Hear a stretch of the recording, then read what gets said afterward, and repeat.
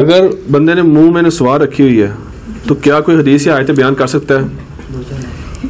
हैं? निस्वार रख के?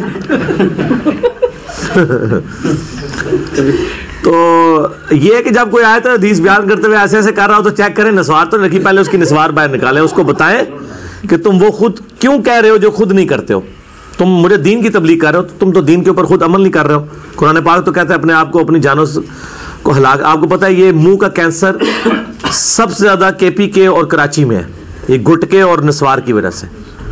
तो ये तो इस तरह के जो चीज़ें हैं जिनकी वजह से आप अपना नुकसान कर रहे हैं हराम है। और और फिर इनको ये भी बताएँ कि नबी इस्लाम फरमाया कि प्याज खा के हमारी मस्जिद में कोई ना आए।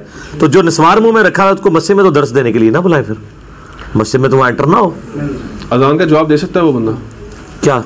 अजान का जवाब दे सकता है नस्वार रखने वाला? हाँ जी। हाँ दे ना वो तो काम करे ना। मिसवाक इस्तेमाल नस्वार नहीं उन्हें छोड़नी बाकी काम उन्हें क्या मैं सारे कर सकता। और नस्वार छड़े अल्लाह दे बंदे लाख विशकार ही रखे हुआ है। मिसवाक इस्तेमाल करने का तरीका और मिसवाक का साइज़ कितना हो? क्योंकि अहनाफ ये एक बालिश वो मुकर करते हैं इस बात हाँ वो कहते हैं जी एक बाली से ज्यादा होगा तो उस पर शैतान बैठेगा यार राम का शैतान इतना शरारती है कि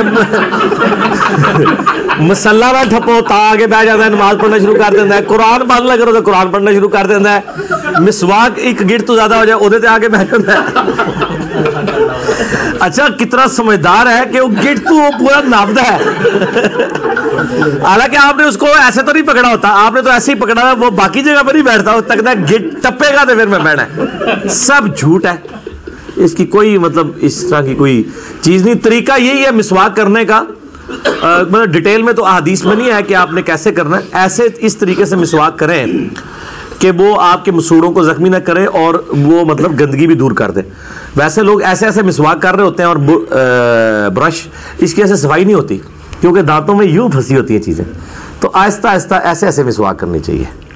मसूड़े भी ना जख्मी हो। ऐसे ऐसे करने से मसूड़ों के वो जो दांतों के दरमियान तो वही चीज़ रहेगी। बल्कि जो डेंटिस्ट हैं वो आपको सही तरीका भी बताते हैं ब्रश करने का। वो ऐसे ऐसे ही कहते हैं।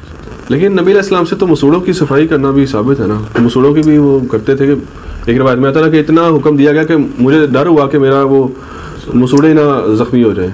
नहीं तो सफ़ाई करें ना। आप तो तरीका पूछ रहे हैं ना। तरीका तो उसमें कहीं नहीं ना आया कि पकड़नी कैसे है। जैसे इन्होंने बनाया हुआ है कि जी ये ऐसे पकड़नी है। ये तो इनके बुज़ुर्गों ने सिखाया हुआ है ना।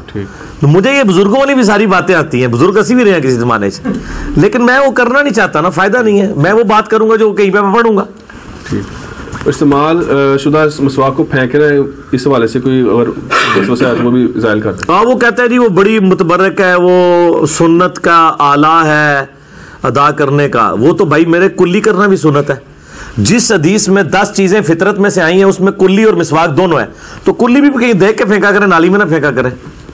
ठीक है? इससे क्या फ़र्क पड़ता है? कुछ भी नहीं है। जो चीज़ जाया हो चुकी जाया